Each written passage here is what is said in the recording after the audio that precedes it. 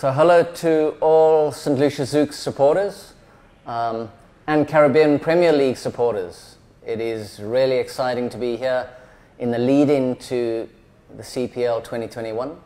Obviously, as St. Lucia Zouks coach, I'm looking to go one better. We had a really exciting season last year where we got into the final, but Trinidad were just too good for us. So, let's share a little news uh, with you about St. Lucia Zouks' plans for the upcoming tournament.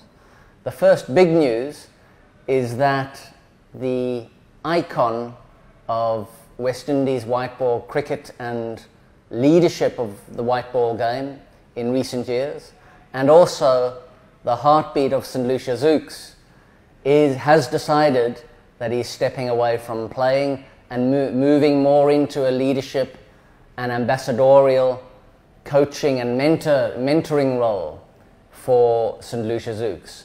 And who knows where he goes from there. But Darren Sammy uh, has decided uh, to step away from playing after an amazing career, both with the West Indies, where he led the side to two 2020 World Cups, uh, but also uh, as a really inspirational uh, leader full of integrity um, for uh, the island.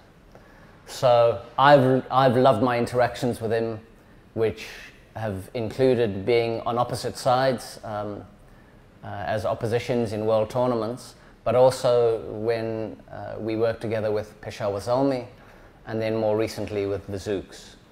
Um, and we, we want to continue that partnership with Darren coming in, as I said earlier, part ambassador, part coach, part mentor, uh, alongside me, and we hope that our leadership partnership will be one that is very healthy for the Zouks in the future. So, Darren, from me personally, and if I may speak on behalf of um, the Zouks supporters, thank you very much for everything you've done, uh, and we look forward to what you're going to do in the future. Last ball, the 19th over.